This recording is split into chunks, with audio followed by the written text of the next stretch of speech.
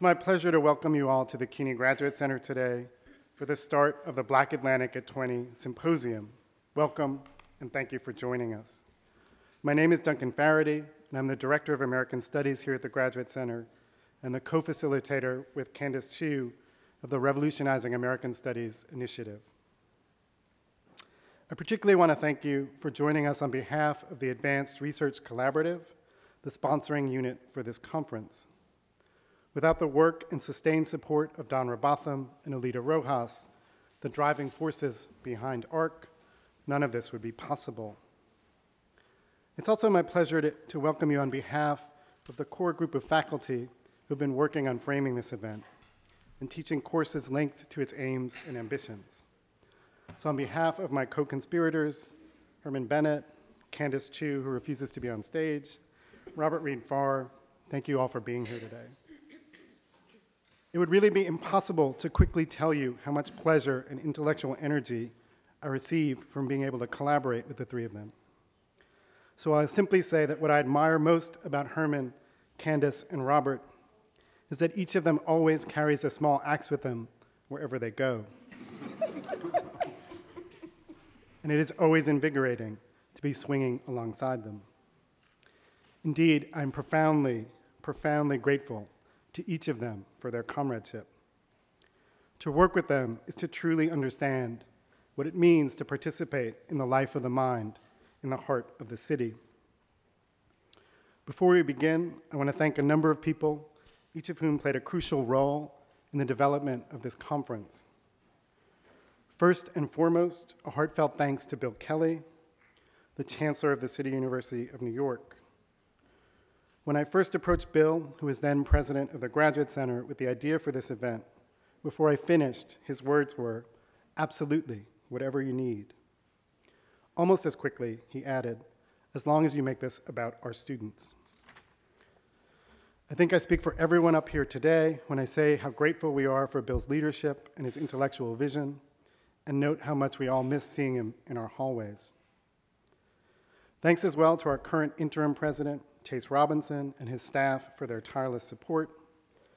Double thanks to Provost Louise Lennihan, who works harder than anyone else I know to make sure that the educational mission of this institution is the North Star that guides us in all of our endeavors. Special thanks again to Don Robotham and Alida Rojas of ARC for underwriting our efforts and doing everything they can to ease the burden of organizing and planning. Without the efforts of Z. Dempster, the Assistant Director for the Institute for Research on the African Diaspora in the Americas and the Caribbean, the symposium would never have gotten off the ground. I don't, is, she, is Z here? She maybe decided not to, she's probably doing more work on our behalf now. Uh, so just a, a thank you to Z.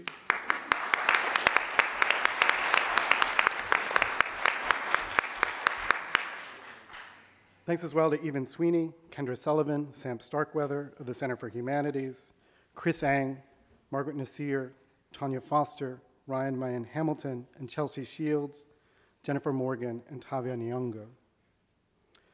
I also want to officially welcome Paul Gilroy to the Graduate Center. Obviously, without his groundbreaking work, groundbreaking work 20 years ago, we wouldn't be gathered here today. So welcome, Paul.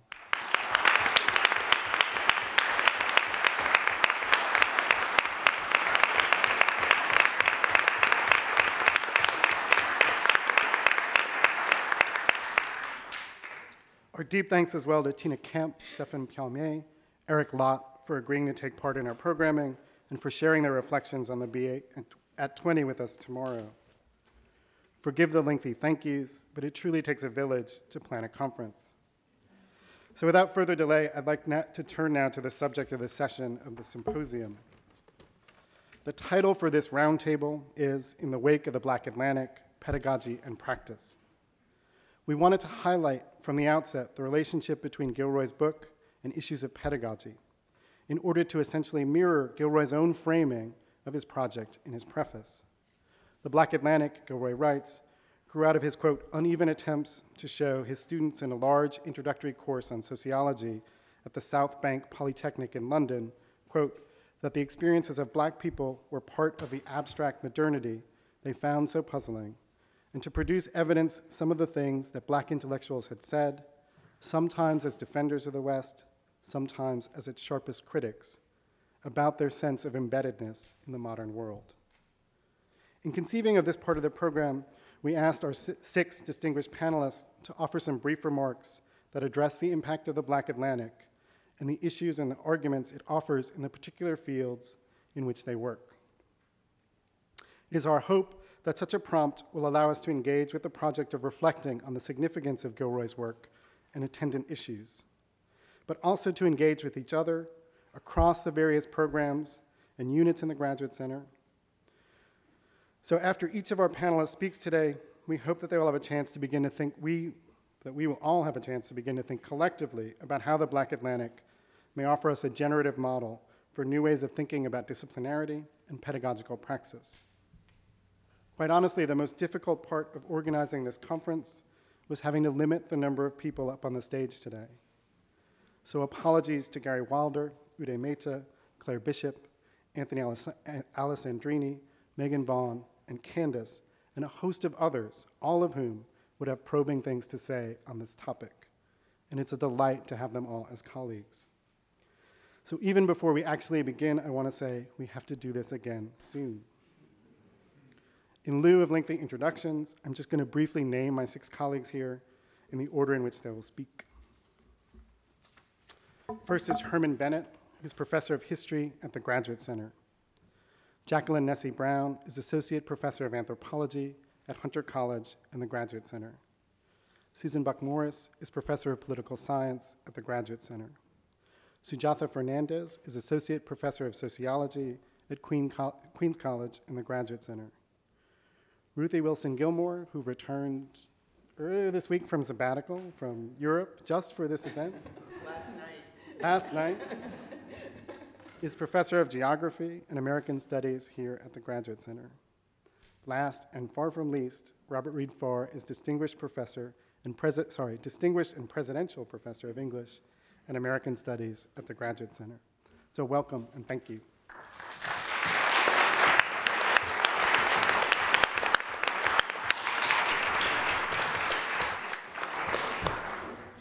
Good afternoon. thank you, Duncan. And thank you, Candace. Um, there's a lot of labor that went into this. So I want to thank all of the people um, that contributed to this. And I want to make it very clear that um, each and every one of you in this room could actually be up here.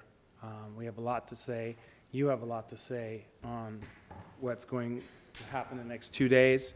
And I just have to say that looking at the folks in this audience, an amazing group of, an amazing assemblage of folks here, some of the smartest people I've ever encountered, and that, you know, I just looking at all these amazing graduate students that I've had the fortune to engage with, um, who kick my butt every day I walk into this building. All right, Quite literally, every that's day. Not, that's not my problem. All righty. Duncan and Candace said that, uh, and Robert said we have eight minutes, and so I'm going to be very precise about what I have to say in eight minutes. In the middle of the 20th century, the American anthropologist Melville Herskovits reframed our approach to the African past. In, in asserting the obvious, slaves came from African cultural contexts, Herskovits challenged the myth of the Negro past, thereby delineating a new framework through which subsequent writers represented the African diaspora. In questioning racist and racialized myths that then informed the New World Black experience, Herskovits crafted a cultural framework for discerning how structures and agency engendered black cultures throughout the Americas explicitly challenging the dominant evolutionary paradigms that characterize Africans merely as racialized beings. Herskovits, building on the work of his advisor Franz Boas, inaugurated a shift from race to culture in representing how Africans navigated their experiences in the Americas. Another way of expressing the aforementioned is as follows.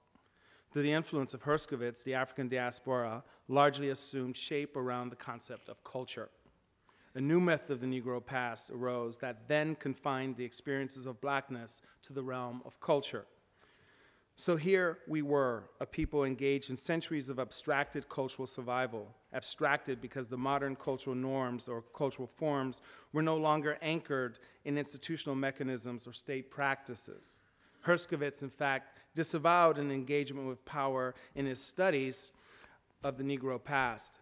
So blackness reflected cultural practices as opposed to a theorization of power. The Black Atlantic, double consciousness, and modernity entered the crucible of culture and immediately reconfigured the intellectual landscape for scholars of slavery and post emancipation societies. Professor Gilroy's insistence that we see slavery and blackness as constitutive features of our political modernity engendered the emergence of a new theorization of culture that eschews rooting the subjectivities of slaves solely in the materialist categories derived from labor or racial subordination. It introduced a fundamentally new grammar and lexicon for conceiving of blackness. Here was a book that positioned cultural experiences and cultural expressions as manifestations of the political that were simultaneously in dialogue with the Enlightenment and the project of modernity. Now, and due to the intervention of the Black Atlantic, writers acknowledge that social claims characterize the experiences of the enslaved. Still, the insistence that we grapple with subjectivities, not just cultural identities, did not dislodge the foundational concerns of black studies. What cultural logic informs the, the experiences or the black experience in the West? But rather than render this musing as antiquated, we need to acknowledge that this query continues to constitute a political response to deeply held views that Africans and their New World descendants represented a people without history. Indeed, there is more than reconstructive labor at stake. Simply put, engaging the African cultural past in the New World and Old underscores the political nature of representation, either in the guise of scholarly inquiry, disciplinary formation, and social memory. In this respect, writing about African cultures in the West continues to be embedded in what, what the anthropologist Melville Herskovits termed the myth of the Negro past. Yet, in the wake of the Black Atlantic, we, na we now see how the myth is foundational to the very making of the West. Indeed, our, in, instead of believing that our engagements with the African past can transcend the minefield of political representation, we need to acknowledge it and our complicity in its politics. Students of the Afro-Latin American past, for instance, confront at least two related forms of death in crafting their subjects, their subjects' history, um, crafting their subjects' history um, around social death, the experiential state among survivors of the Middle Passage, and civil death, whose colonial and post-colonial le legacies are manifest in a nationalist disavowal of the black experiences as the subject of inquiry. Given the importance of Spanish America's African past, even beyond the canonical site of blackness, that is Cuba, and its, in its ontology and death, we simply should characterize the act of disavowing the black experience on the part of Spanish American intellectuals and intellectuals of Spanish America as a form of epistemological exorcism. In having said as much in relationship to a distinct terrain of inquiry, Professor Gilroy's, Professor Gilroy's Black Atlantic clarified how our engagement or lack thereof with the past reflected a politics and a set of positions. 20 years ago, the Black Atlantic dared us to conceive of a history of African European interaction that pressed beyond the inherited conceptual legacies framing popular and scholarly depictions of that past. My debt to the Black Atlantic is clear. In the wake of an early modern expansion and its encounters with distinct social collectivities, sovereign and subject, Espanol and Bozal, master and slave. A novel concept, the individual evinced liberty, a nascent social state that gained expression through the lived experiences of Africans and their offspring.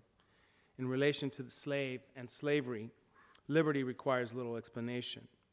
The same cannot be said for private lives, conceived through hierarchies framed by patriarch and slave, husband and wife, alongside father and child, mother and child, liberty emerged from the very dualities that engendered another social phenomenon, private life. As the master's property, writers in the past and present asserted that enslaved, the, the enslaved did not will the legally sanctioned existence independent of their owners. If slaves manifested a private life, masters allegedly willed it. But after reading and teaching the Black Atlantic just weeks after I returned from the Mexican archives 20 years ago, It launched me on a wholesale rethinking of slavery and freedom. I had mined the archives for cultural material and the tradition in, in the tradition of Herskovits, but now wanted to pursue the primal history of the slave. What I find thinking through the Black Atlantic was that even as civil law sanctioned the master's dominion over chattel, canon law simultaneously upheld the slave's personhood. By subjecting converted Africans and the blacks to the law, the Catholic Church, the canon law, brought a category of the private, domestic privacy into existence among the enslaved, which Africans and their descendants quickly mobilized to their advantage. Almost immediately, they made legal personhood their own.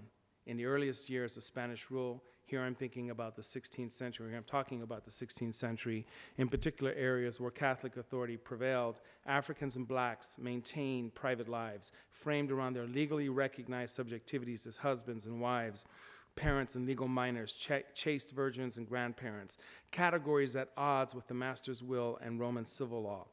In writing about the private lives of blacks, I was not intent on revisiting the intellectual terrain of resilience and cultural survival that was brilliantly yet problematically framed by an earlier generation of scholars writing in the wake of Herskovits about black life, slave and free. An examination of private lives brought into relief institutional, jurisdictional, and imperial claims alongside political traditions that had acted and shaped the very formalities of the early modern African European encounter, far beyond the trope of racial subordination and, disp- and dispossession. As an explicit legacy of the Black Atlantic, this, this perspective, political in nature, offered a fundamentally new horizon of emplotment. Thank you.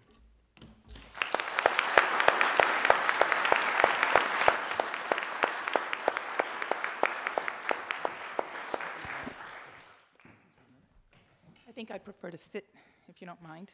I'd like to thank Herman for taking on Herskovits.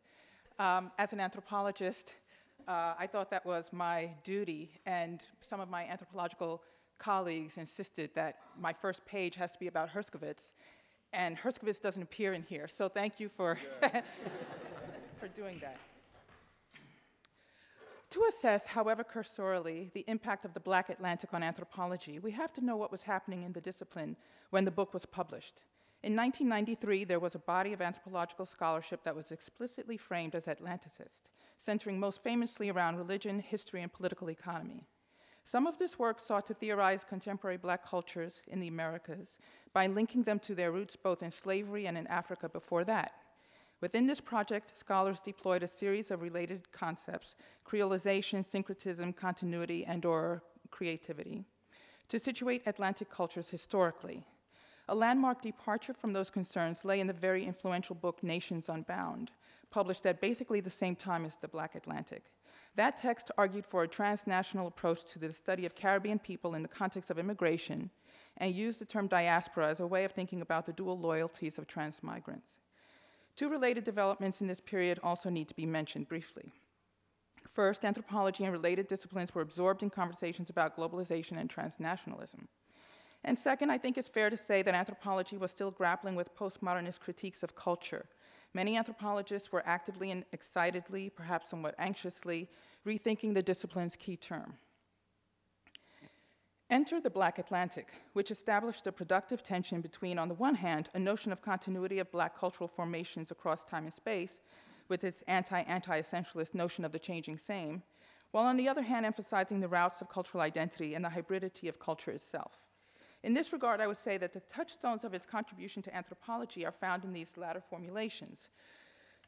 With critiques unfolding within anthropology for its sometime treatment of culture as thing like, a critique that certainly affected the discourse on creolization, for example, the notion of a changing same black culture was not likely to be taken up as much as the more open ended and fluid frameworks represented by an examination of the travels of cultural materials, whether they be people, ideologies, or musics, or whatever and in the hybrid nature of cultural, identity, cultural identities and culture itself.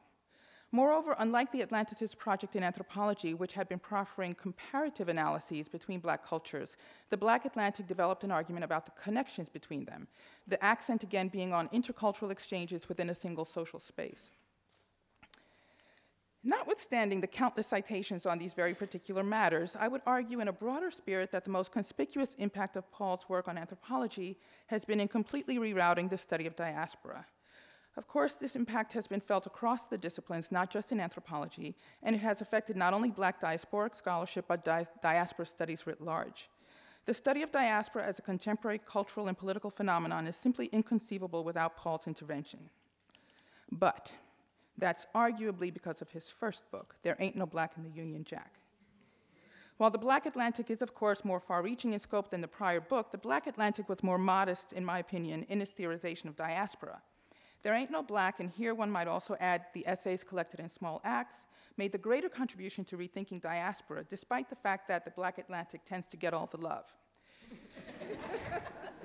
in order to appreciate the contribution of There Ain't No Black, one must first consider what has made the Black Atlantic difficult to think with from an anthropological point of view. Its method for proving its point about the hybridity of black cultures consists largely in his study of the works, lives, and travels of a select few black American luminaries, Anthropologists, by contrast, uh, deal with everyday people. The Black Atlantic rethinks modernity by periodizing it through slavery and posits this as the framework within and against which black cultures were formed and continue to unfold. Anthropologists work without, uh, while impossible without history and while also crucially concerned with theorizing origins, is really about the everyday. Along similar lines, the Black Atlantic examines the production of culture without reference to its material basis, particularly in reference to global capitalism, a move that has generated some critical comment among anthropologists. In all of these respects, there ain't no black invited more anthropological engagement.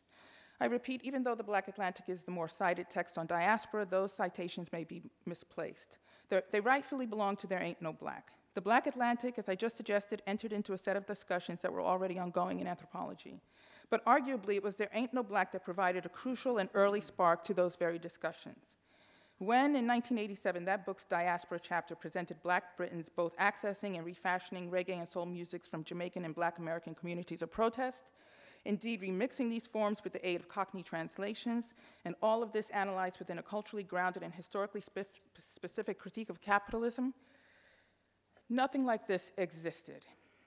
Africa, became, uh, Africa came uh, briefly to life in the text, not as a site of originary culture, black suffering at the hands of the apartheid regime was posited as an object of black British political concern.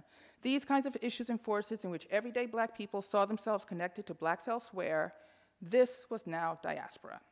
The focus of There Ain't No Black was, moreover, an actual, tangible community that we were able to engage on terms that were, if not ethnographic, at least ethnographic y. The stakes of different, different, political economic analyses and approaches in the understanding of this community with its particular national, within its particular national historical context were also laid out. We were also invited to consider everyday forms of cultural representation in terms of how they variously constituted race and nation, affecting the belonging of black Britons in the process. In anthropological terms, there was nothing not to love. Most, if not all, of the factors that inhibited anthropologists' full engagement with the Black Atlantic had already been accounted for in the previous text, which could be productively considered its prequel. Yet, because it is the Black Atlantic whose influence we are here to examine, and which I love, please make no mistake, I should offer some indication of how productive that text has been in anthropology. The explicit marking and theorization of Black America's global influence in the sphere of cultural production, especially hip hop, has exploded. Many of us have critically analyzed that very hegemony, including its gendering. There is now a veritable anthropology of global blackness, one in which radical and perhaps not so radical political cultures and subjectivities are seen as emerging through particular forms and moments of transnational connection. Along similar lines, the explicit rendering of black cultures in oceanic terms lent a special urgency to anthropology's engagement with geography, manifesting not only in our studies of globalization, but also our studies of the spatial constitution of racialized formations of culture and power. If not inspired by Paul's work, then at the very least emboldened by it, Atlanticist anthropology now is framed in specifically dialogic terms, so that the grand assemblages of Africa and the Americas can be seen as existing in a coeval relation rather than a sequential one. This dialogic school tends not to deal with Europe or Black Europe, alas, although it does very much engage Afro Latin worlds. Moreover, the Black Atlantic inspired many Africanist anthropologists who, over the past 20 years, have identified the myriad ways that diaspora blacks and traveling Africans have inspired hybridized cultural productions on the continent. This large and growing body of anthropological scholarship can only be described as super exciting. The Black Atlantic's focus on modernity from the point of view of the slave also contributed to its treatment in anthropology, that is, modernity's treatment, which has likewise studied modernity from the perspective of the subjects whom it both constitutes and marginalizes.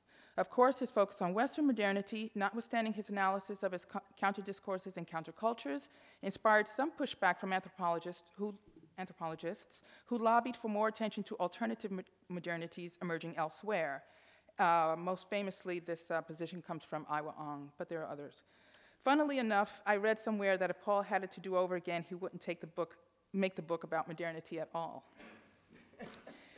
In closing, allow me to suggest that one consistent element of Paul's work that I wish received more attention in anthropology um, is its positing of the quest for emancipation, autonomy, and citizenship as the touchstone of black political subjectivity in the black Atlantic world. To the considerable extent that we understand our work to relate broadly to social justice, such a focus becomes highly relevant, especially as it relates to one of the greatest moral crises of our time, one that originates in the immediate post slavery period, and that is the criminalization and mass incarceration of black people, who are otherwise known as lesser breeds without the law. Thank you.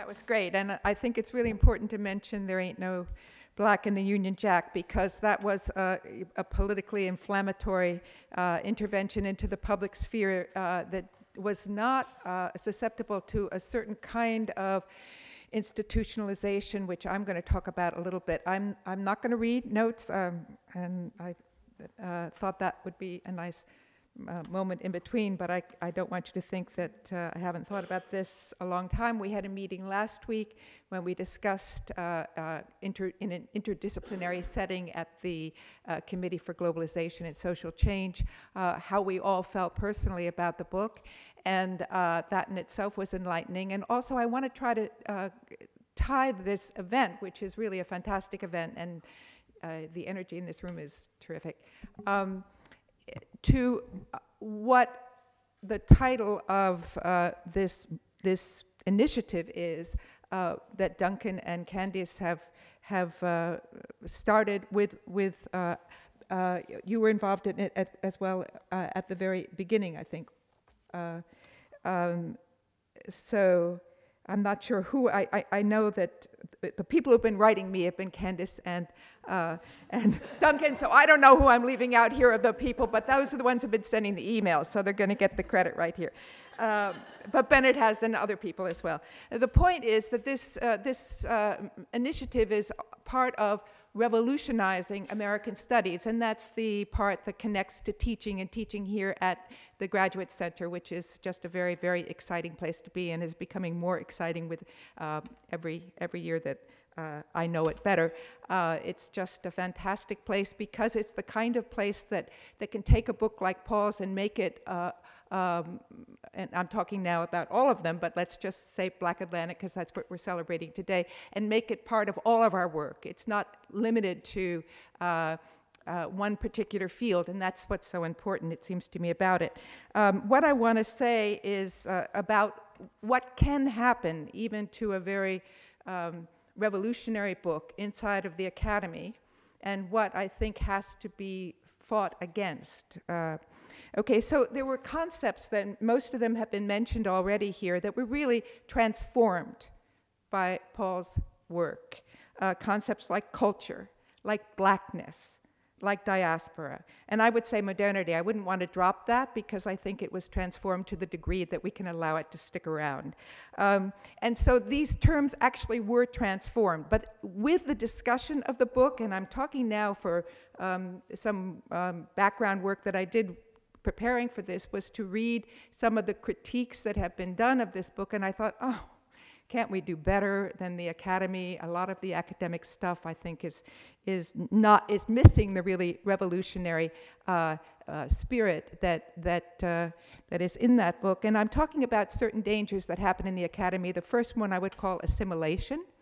That's when somehow or other, even a very radical text can be brought into the canon which is a good thing, of course, but into the canon in such a way that the canonicity sort of overtakes it, and it uh, then suffers a second problem, which is depoliticization.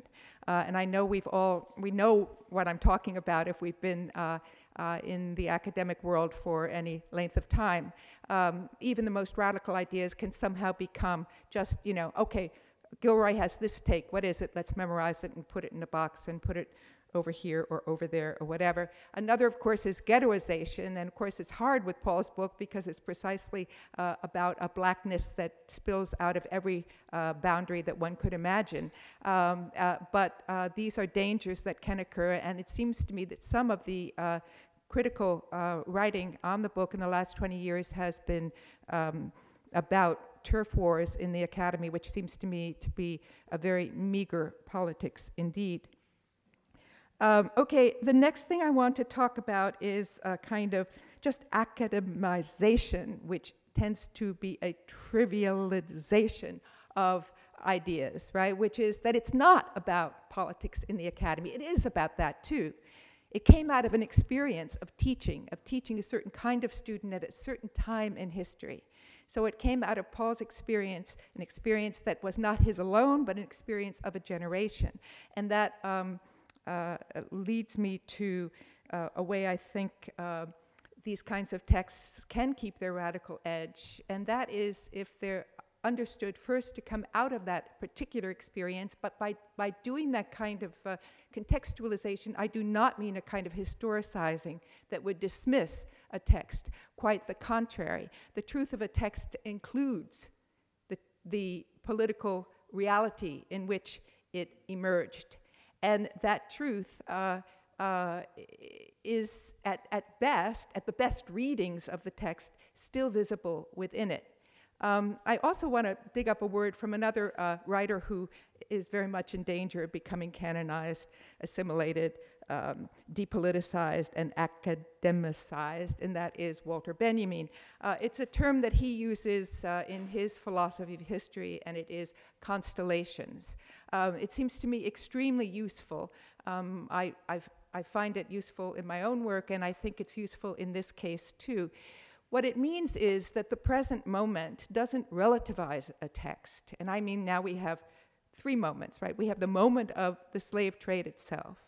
We have the moment of Paul's writing about this at a particular time when the contemporary politics was precisely uh, uh, embedded in a book like There Ain't No Black in the Union Jack, right? And there was, and there is also our moment, right? And these moments, these historical moments, make a kind of constellation in which it seems to me um, history has to keep relevant inside of the discussion of a text. So um, I'm calling for that. And what is the experience uh, of our generation? Uh, it is one where, um, at least at the Graduate Center, now I'm going to talk about my own experience here at the Graduate Center as someone in, in, involved in very interdisciplinary work. Uh, and that is that um, there's something that people in many contexts call the disciplinary police. And these police are really dangerous, and if you find them, you should, you know, they have something worse than mustard gas, and it is essentially uh, the ability to put up boundaries to what you, as a graduate student, I'm talking to, I think, a lot of people in this room, or any of us who are involved in academics, what we can and cannot do. Right? And this kind of policing can take several forms. One is, uh, and, and this again I saw in some of the uh, critical discussions of uh, Black Atlantic. You know, is it post colonial, or is it postmodern, or is it post Marxist, or is it cultural studies? I mean, let's put it in a pigeonhole. Let's get rid of what's ever uncomfortable about it and stick it someplace where we can, you know, say it's like everything else and we don't have to deal with it. So that would be one danger, right, that comes with disciplinary policing. Um, and another is, of course, a methodological one, which says that um, what a discipline is about is a fight about method, as if method and content could ever be separated. I don't believe they can. And the third one has to do with, um, yeah, what are you allowed to talk about, right? If you're a sociologist, right, can you speak about you know, something that is not normally seen as part of the terrain of sociology.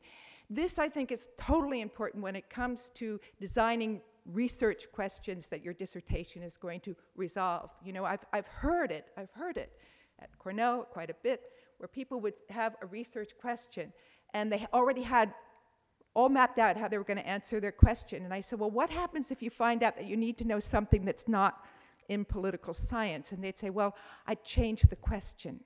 No, no, you change the boundary, right? You don't cut off something just because you hit the boundary of a discipline. Um, and so those are the kinds of policing um, strategies that Paul just never paid any attention to, I think, ever, Paul. I don't think that's your style. But what, it, what happened for me was then that I had the opportunity, uh, knowing that book, to feel like, you know, it was just my intellectual climate. And I speak, I, I'm sure, for a lot of people who read the book when it first came out. It's part of the intellectual air that I breathe. And so it gave me, for instance, personally, the license to write Hegel and Haiti, even though Hegel and Haiti were not supposed to go together at all, right? So uh, that uh, uh, leads me to my last comment, which is uh, for me, it was the air I breathe. But for one person whose name has actually been mentioned, and I told her I was going to quote her, so she knows it. She's at a conference in Portland.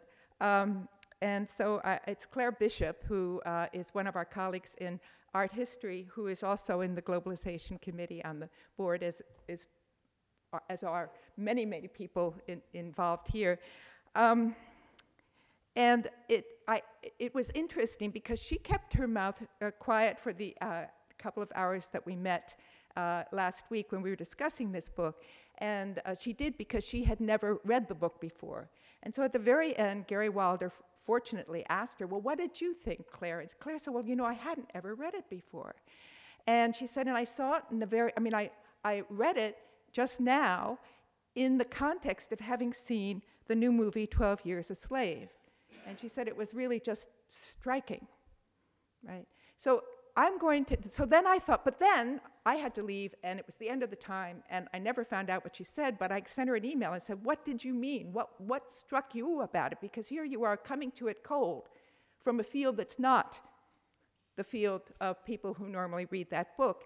And she sent me an email, and she's so articulate that, you know, this is one thing I can read because it's actually wonderful English. And uh, I told her I was going to do this. I'm just going to end by uh, saying three things that she said to me in that email. Uh, and this, I think, is such a tribute to the book. It made me want to produce the kind of work that also puts events and histories into juxtaposition in ways that challenge established taxonomies and disciplinary proprieties.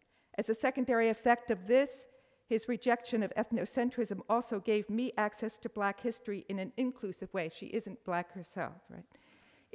It, it's writing that looks beyond saints and sinners and that doesn't leave you feeling incapacitated in the face of this appalling history. The other main point that I took away from it was the intriguing stuff about music, transfiguration, and utopia. I had never thought of slave songs as political resistance and critical counterculture, and moreover, offering a counterargument to the Enlightenment division of aesthetics, ethics, and politics. It's an amazing line of thought. The proposition at the end of chapter one about aesthetic expression as self fashioning and communal liberation also seemed to offer an important alternative to the ideas of art as immanent, that is, the kind of thing that Adorno would criticize as expressing somehow what's already there rather than uh, as being a form of resistance itself. And then she said, 12 years a slave. Not sure I can make more of a link with Black Atlantic than the obvious, but what the film achieves, what you also get from the book, is remind you of the way in which this is not just a Southern problem, but an entire transatlantic system. Plantation owners don't own their slaves, the banks do, and the banks are in the UK. Thank you.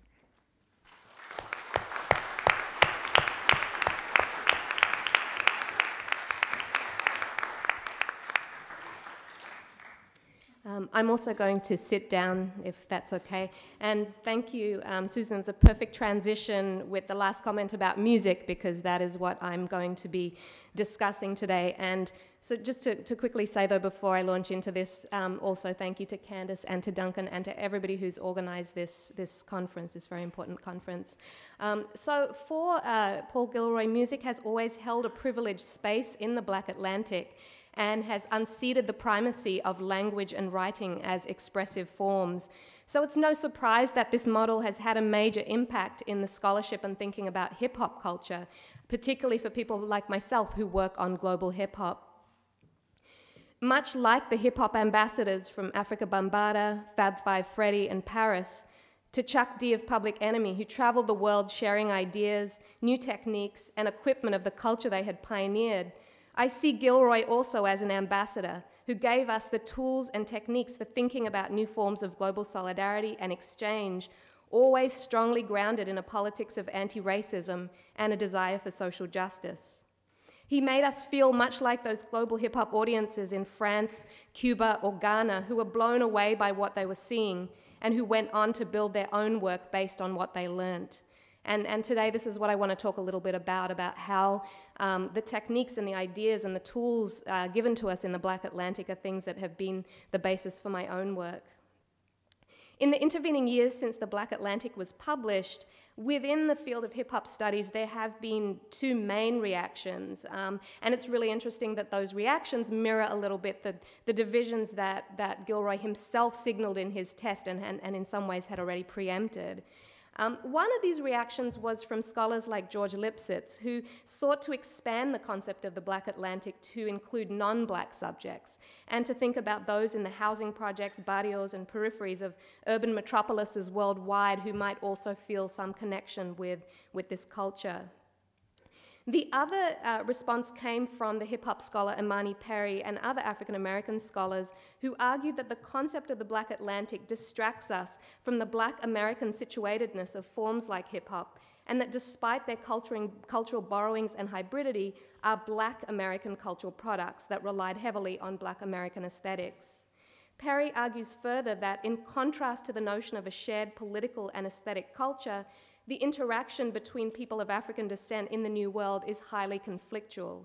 She argues that the Black Atlantic model underestimates the depth of national identifications, and she points to the one way flow of American hip hop culture to the world due to the power of US global domination.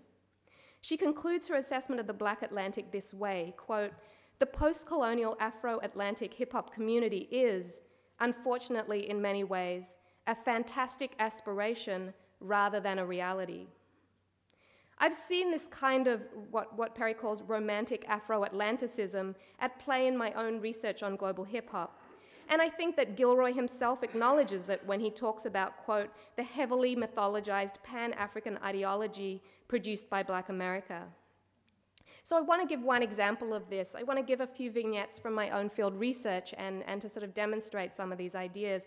So one of the examples that comes to mind when thinking about this kind of romantic Afro-Atlanticism was the 1999 annual Cuban Hip Hop Festival in Alamar. It's a town on the outskirts of Havana. And the American rap group Dead Prez was there, and they were rapping, I'm an African, I'm an African, before a crowd of thousands. And the whole amphitheater was resounding with the Cubans who were chanting back the words. It was Pan Africanism in motion. But the politics didn't always translate. Unaware of the implications of what he was doing, the rapper M1 pulled out a dollar bill and started to burn it with a lighter an act which in the US is considered illegal and a defacement of private property. Because of this dollar, the children in my country are dying for drugs or for crack or for bling, he said. The audience went wild. They didn't understand how he could be burning a precious dollar bill. People began to call out, Give me that dollar, I can buy some bread or some French fries. Then he began to burn a $10 bill. No, stop! The audience was screaming. What is that crazy lunatic doing? I could feed my whole family for a month with that. One of the members of the American delegation, Raquel Rivera, was translating, trying to explain to the baffled audience that in America, black people are dying because of the dollar bill. But here in Cuba, shouted out one person half seriously, People are dying of hunger. So I agree with Perry that the Black Atlantic is a fantasy, but, and this is where I differ from her, I think it is a productive fantasy that even if it doesn't exist in reality, has been deployed by hip hoppers around the globe to give power to their localized movements. The imagining of transnational alliances, as conflictual and as transient as those may be, has given diverse actors the resources and the platform to tell their stories, and it has provided the grounds for their locally based political actions. Another vignette is a year after 9 11 had happened, I was at a Cuban rap concert in a local Casa de la, de la Cultura, or a local culture house, and the Cuban rap group Anónimo Consejo was performing a song entitled No War, No Blood, Peace Now. The lyrics to the song were very much the same discourse as Fidel Castro had, had been giving in speeches, and really what you could find in the major news media in Cuba no to war and imperialism, Afghanistan as a, as a casualty of the war on terror. And it was clear that these rappers took inspiration from the Cuban Revolution and from Fidel himself, even as they were reworking some of these ideals. But the main artist of Anónimo Consejo had also just changed his name to Sekou Umoja, to emphasize his spiritual connections with Africa. At the concert, he also gave a fiery speech about race and the importance of race over the kind of humanism represented by people like Jose Marti. It was this imagined connection to Africa that kept the rappers outside the orbit of the state, even as they continued to collaborate with it. It was their ties with French record labels, American rappers, and with black celebrities like Danny Glover and Harry Belafonte that gave Cuban rappers some level of recognition with their society. Finally, I want to close with one last image that sort of bring this, brings this all back to myself um, as a young person sitting in the garage of my friend Khaled Sabsabi, who was a Lebanese hip hop producer in Sydney's West, whose family had fled the civil war back home and they had come to settle in Sydney. He was making a beat for a song written by my other friend, an Aboriginal artist called Wyatta Telfer, called Fuck the Brady Bunch. Khaled had one of these really old, thick plastic grey EPS machines that they used to use for making beats. And after adding in some drum samples and a, and a funky bass line, he took out the album Superbad by Terminator X of Public Enemy. From one of the tracks, he took out Sister Souljah's battle cry, We are at war, and he added it to the beginning of the beat and to the end.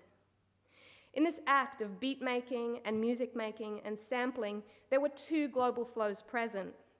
There was the, the saccharine sweet romance of white suburbia, as represented by the Brady Bunch, that we all grew up watching in Australia, and the other, a powerful counterforce rivaling the hegemonic power of the Brady Bunch and giving voice to other histories of exile, displacement, and poverty, and that was the Black Planet of Public Enemy. Thanks.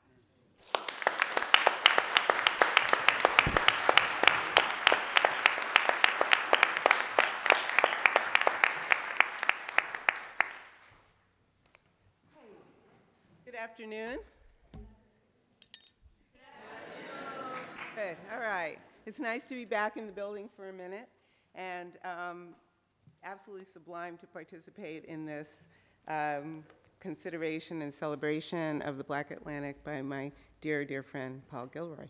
And it's also really intimidating to stand up here and talk about your work. So, here we go. I'm going to talk about being a geographer. I became a geographer, I started becoming a geographer when this book came out.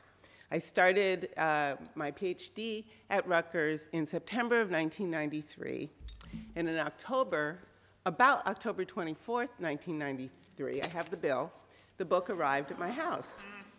And I read it to shreds, as you can see. These are the original post-it notes.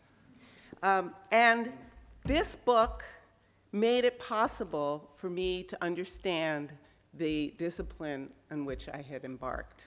I didn't realize when I became, started to become a geographer that geography was such an imperial discipline. I didn't understand when I started to become a geographer that so many people who practice that discipline work for the military. I didn't understand when I started to become a geographer that many geographers were only concerned about something they called areal differentiation, and it took me at least three weeks in geography school to understand that they meant areal as in space and not aerial as in in the air. So geography made sense to me because I had read Paul's work, but before that I'd read his earlier work. Of course, There Ain't No Black. I'd read Stuart Hall, Cedric Robinson, C.L.R. James, Selma James, Claudia Jones, Hazel Carby, many other people. Um, but I still didn't quite get it until the Black Atlantic came into my lap.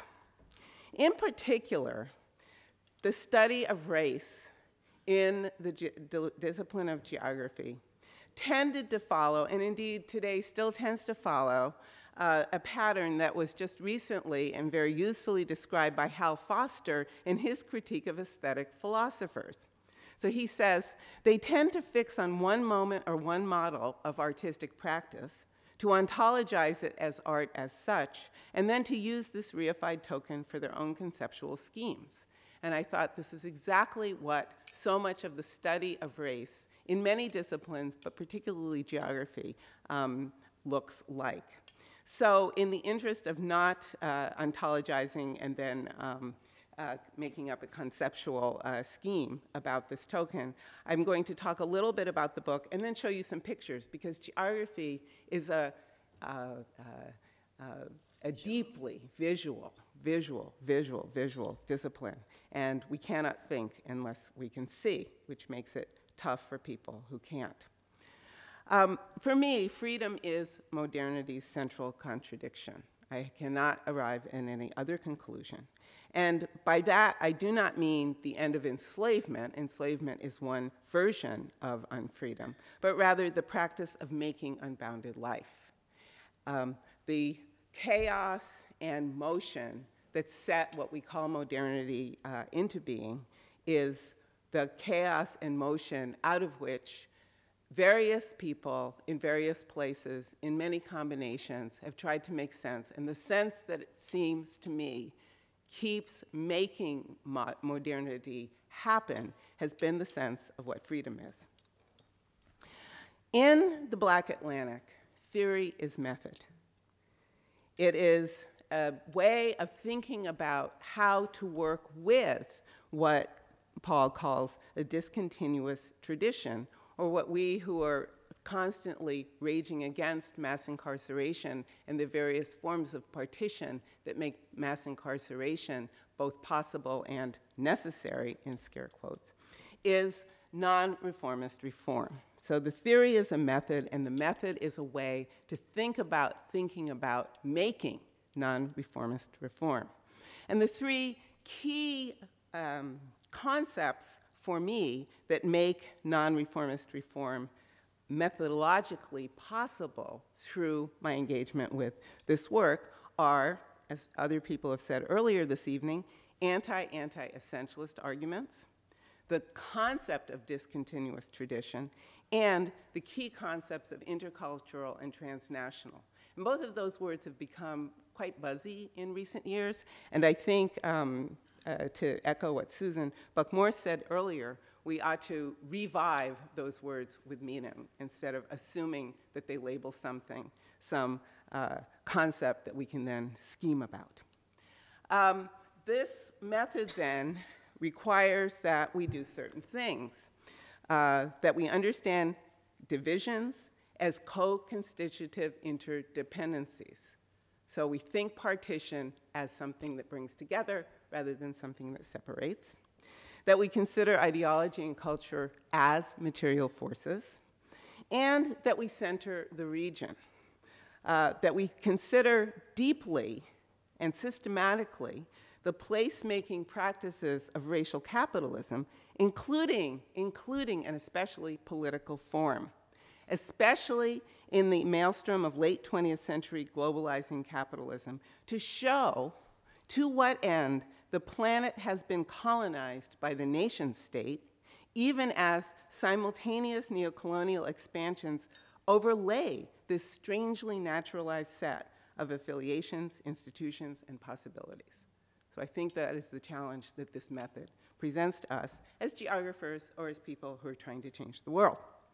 But also importantly, if centering the region, let us call it the Black Atlantic, is part of the project that we've been um, challenged with, it also means that we think deeply about discontinuous regions. So we can think of the Atlantic as continuous, right? Right. But there are discontinuous regions. And what underlies the idea of diaspora is the idea of understanding discontinuous regions, right? Understanding them as, in some fundamental ways, unified, but not unified through the notion of a mythic past, but rather through the activities of an ever extending behind us present. That means, when I was listening to Sujatha talk, that that fight over the dollar didn't necessarily prove division. It was the dollar that brought people together and their consideration of the different ways to think about the dollar that then maybe produced a new way of considering the diaspora rather than saying, no, that division between the nation states is what matters most. Um, the, one of the things that Black Atlantic does is to elaborate the structures of feeling that shape the Black Atlantic world. And a critique that I didn't realize until I reread the book recently, that I completely internalized and thought was my own, is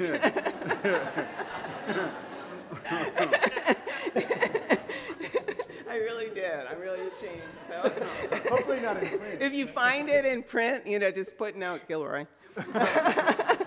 and that's a critique of Raymond Williams, the useful, engaged critique, right? And the way that, um, that Williams and, and, and Gilroy, in his critique and his engagement with Williams, talks about structures of feeling.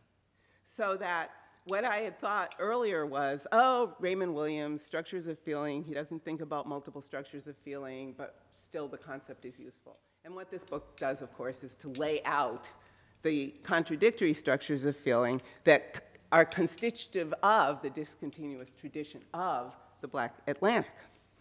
Um, so structures of feeling then are not unitary for any time or place, but rather dialectical. Um, the whole discussion of Hegel and Douglass is the great example of that. And what I've been trying to write this year, and thank God I had to reread this book so I don't make a fool of myself, is um, a book that's called Fatal Couplings, and it's about what discontinuous tradition rests on. You know, I keep asking myself, how do we get back to it? Is it, is it merely the continuation of suffering that makes us keep on reinventing ways to undo it, or are there other things um, things other than suffering, and I have to believe that's so, that make this discontinuous tradition, that uh, the set of traditions that make the Black Atlantic the Black Atlantic, something that can persist. So that changing same rests on some sort of underlying capacity, right? There's something beneath that. And what I've been writing, and it's not done, so I won't read it to you, is a, um, is a piece of a book in which I try to think about what the infrastructure of feeling is that underlies and makes possible the productivity, which is to say the usefulness of the structures of feeling that come into being from time to time. And I used, went back to Williams now, more modestly than before, to think about how Williams uh, discusses what he uh, makes of tradition. And he says, tradition is an accumulation of structures of feeling. But accumulation, and this is the key, he argues, is not something that just happens, right? Traditions don't accumulate by structures of feeling washing up on the shore like so much flotsam.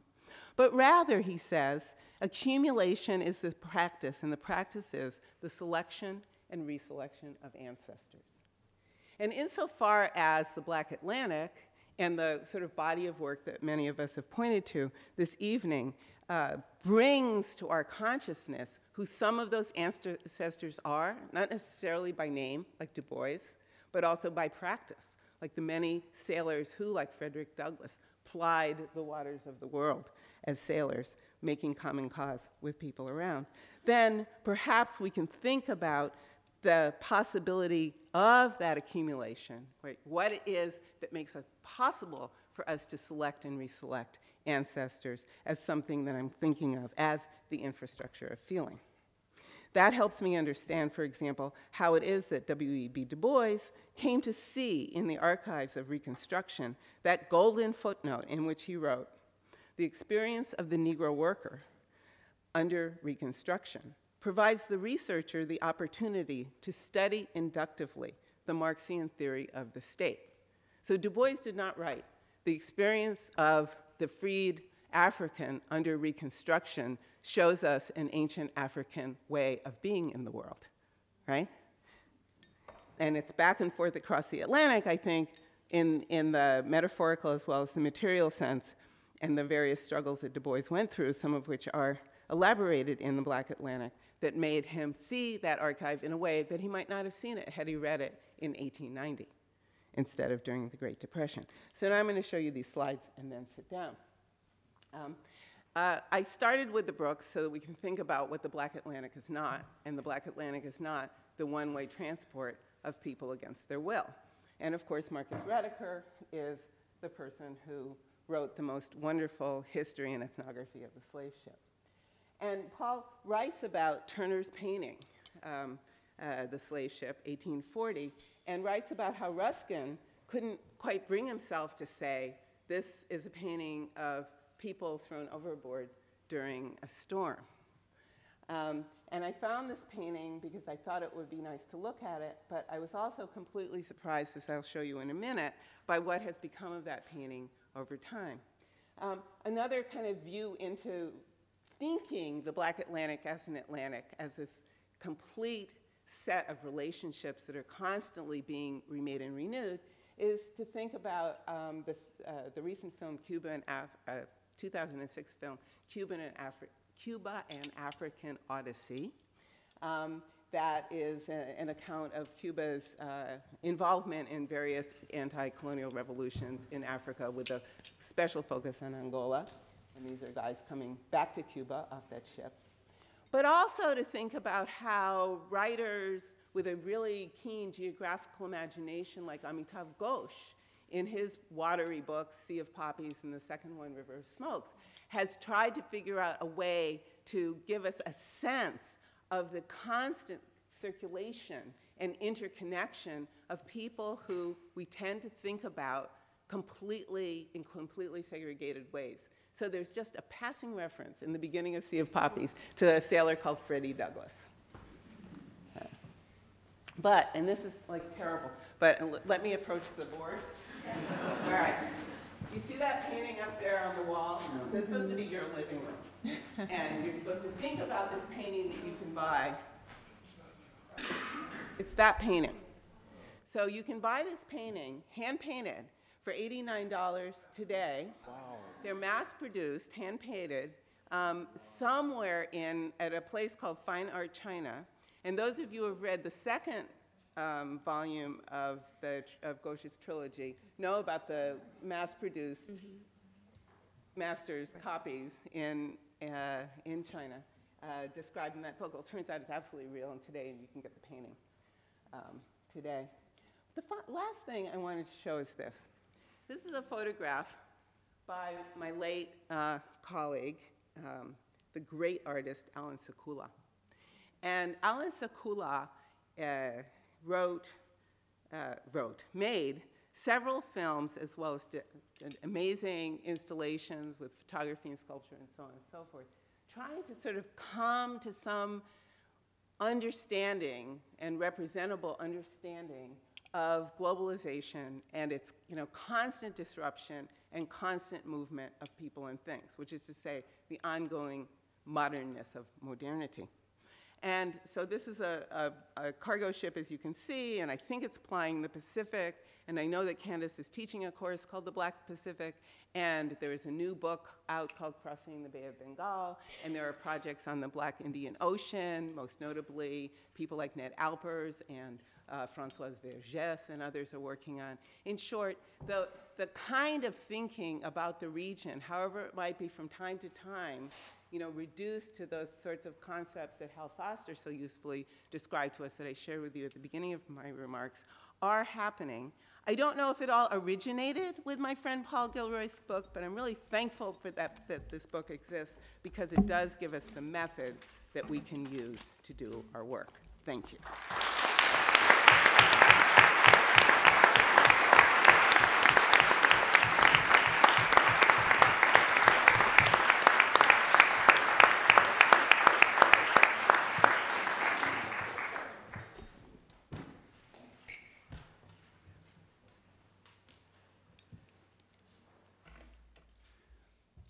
Early in the Black Atlantic modernity and double consciousness, Paul Gilroy writes Regardless of their affiliation to the right, left, or center, groups have fallen back on the idea of cultural nationalism, on the over integrated conceptions of culture, which present immutable ethnic differences as an absolute break in the histories and experiences of black and white people.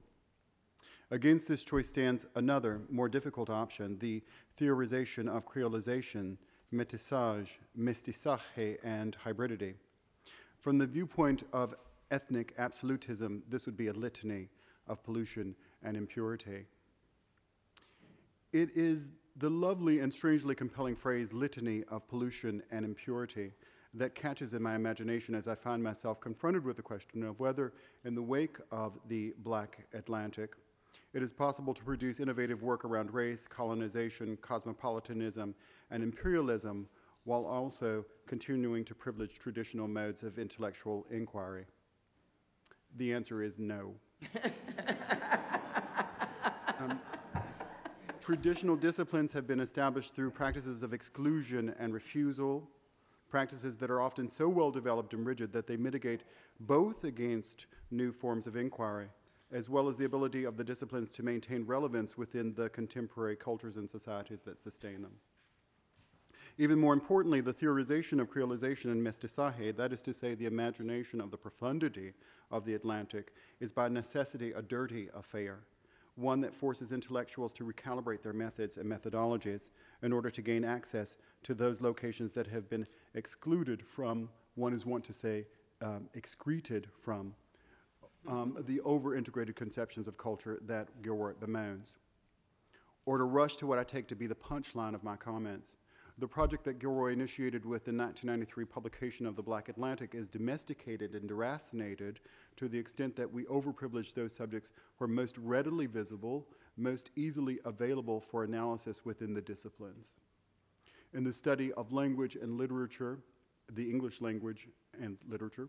It is a simple procedure for scholars to point to Richard Wright, James Baldwin, Chester Himes, Claude McKay, W.E.B. Du Bois, Langston Hughes, and Nella Larsen, among others, in an effort to demonstrate the Pan Africanism and cosmopolitanism of the African American intellectual class.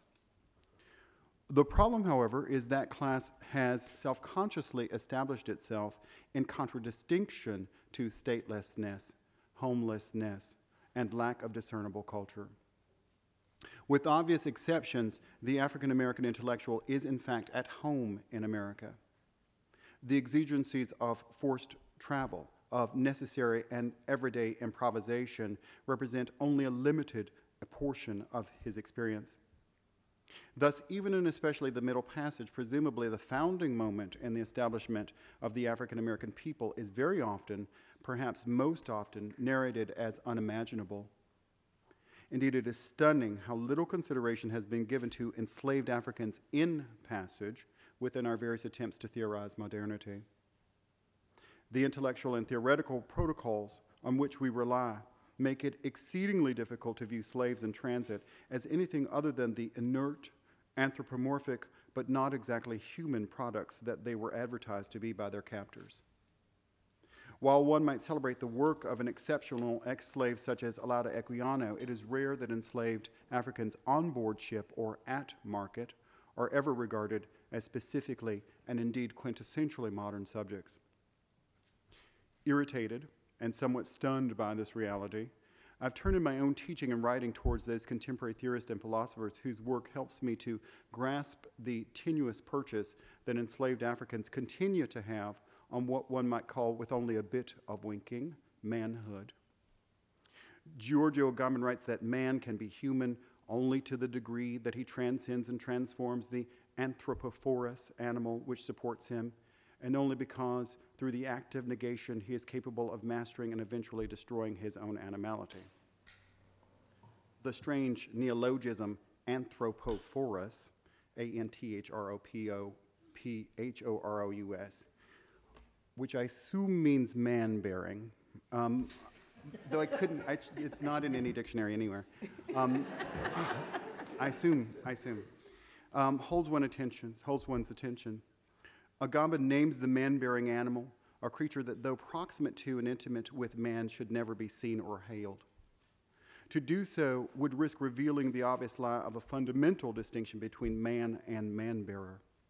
It would disrupt the action of negation that the pursuit of mastery and destruction that Agamben suggests as a primary engine of modern society. While I'm convinced by Agamben's arguments, I also find myself fretting about the targets and modes of his address. Spectral figure of a profoundly flawed articulation of modernity or not, man stands as the undisputed subject of these sentences. Man exists, he transcends and transforms, masters and destroys. It seems, in fact, that man's never ending attempts to confront and destroy anthropophorous animality sponsor the flexibility, creativity, and vigor necessary for man's ever proliferating creative projects. In contrast, the anthropophorous animal itself does, not, does only one thing it supports.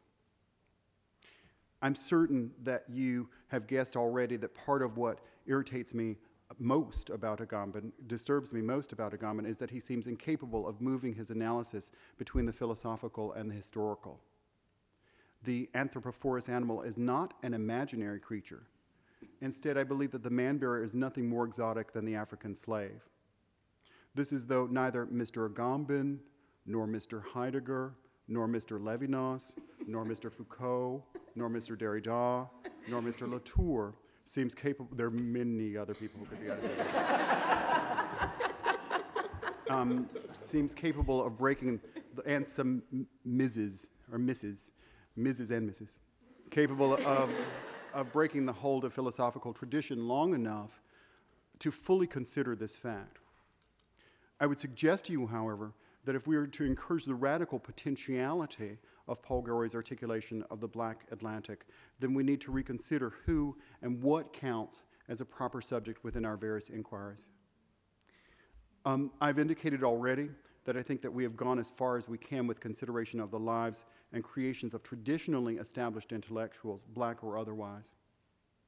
I will add to this that so called black intellectuals are a tiny minority of the individuals of African descent who have crossed the Atlantic.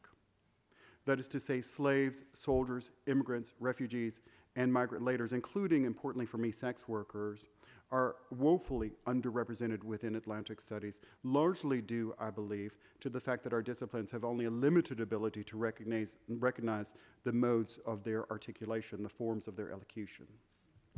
Or perhaps this is just another way of saying that these decidedly mixed subjects are just too difficult and inexplicable, inexplicable too polluted and impure to, again, borrow Gilroy's language, to hold our attention. My specific charge to scholars of literature and culture, then, is not that we discontinue our reading of novels and poems, but that we read them better, much better. Um, those of us who are seriously involved in advancing Gilroy's arguments have mountains of work to do in order to disrupt the um, decidedly Anglo and androcentric analyses that have followed in his, in his wake and that support so much of what we do. In attempting to hurry myself along in this process, I remain mindful that though the ship as a living microcosm of modernity was and is a potent, liberating idea for an entire generation of scholars, it was also an image that came front loaded with fantastic notions of men alone at sea. Mm. In response, I believe that we ought to be much more detailed in our discussions of shipping and sailing as key technologies of the modern. In this sense, I'm overjoyed by the recent work of Marcus Rediker and Stephanie Smallwood on slave ships and the mechanics of the Atlantic Passage.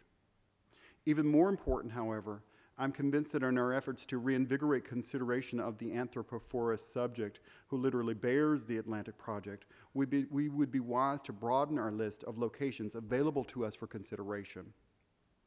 Most specifically, we need to restructure our thinking to consider how female subjects, most specifically in these comments, consider how female subjects directly participate in Atlantic in the Atlantic Project, not as exceptional individuals, but through everyday practices that are difficult to see within traditional modes of literary criticism. Within the tradition of African American literature, there exists a stunningly consistent story of shock given to us by male intellectuals as they encounter prostitutes, houses of prostitution, and readily available women of questionable morals in their travels. Arriving at the West African seaport of Sekondi, Langston Hughes noted a brisk traffic in young African girls. Quote, in front of one hut, three white sailors from a British ship were bargaining with an old woman. Behind her, frightened and, and ashamed, stood a small girl, said to be a virgin. The price was four pounds. The sailors argued for a cheaper rate. They hadn't that much money. He continues, telling us that later that night, as the ship remained anchored off the coast, two girls, petite ladies of the evening, rowed a small boat out to his ship. One of them was taken by the boatswain to his private captain. The other was left in the quarters of the crew. She lay there, naked, and held up her hands. The girl said, Moni, but nobody had any money. Thirty men crowded around, mostly in their underwear, sat up on bunks, watched, smoked, yelled, and joked, and waited for their turn. Each time a man would rise, the little African girl on the floor would say, Moni, Moni, but nobody had a cent. Yet they wouldn't let her get up.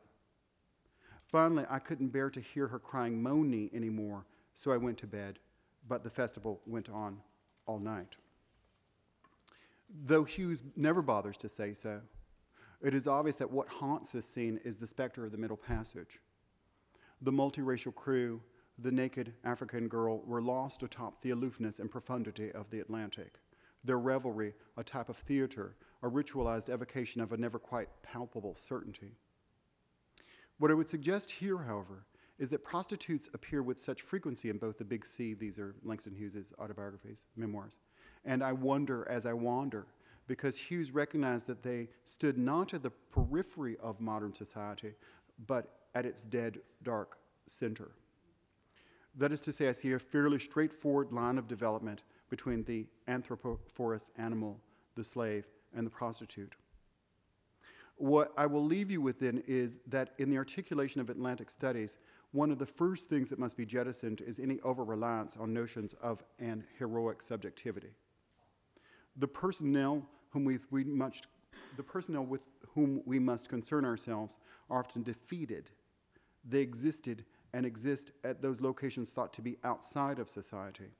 They were, in fact, benighted. They were dirty and impure. They were never more eloquent than when they were saying, Moni.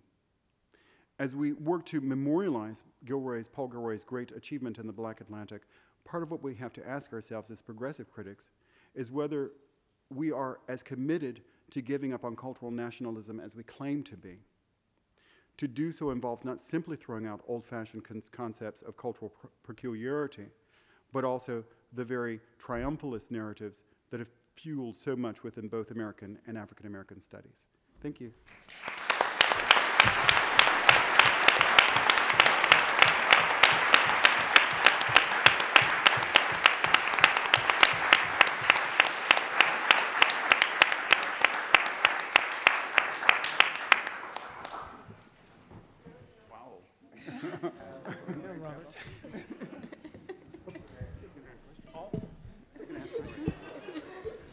I wasn't.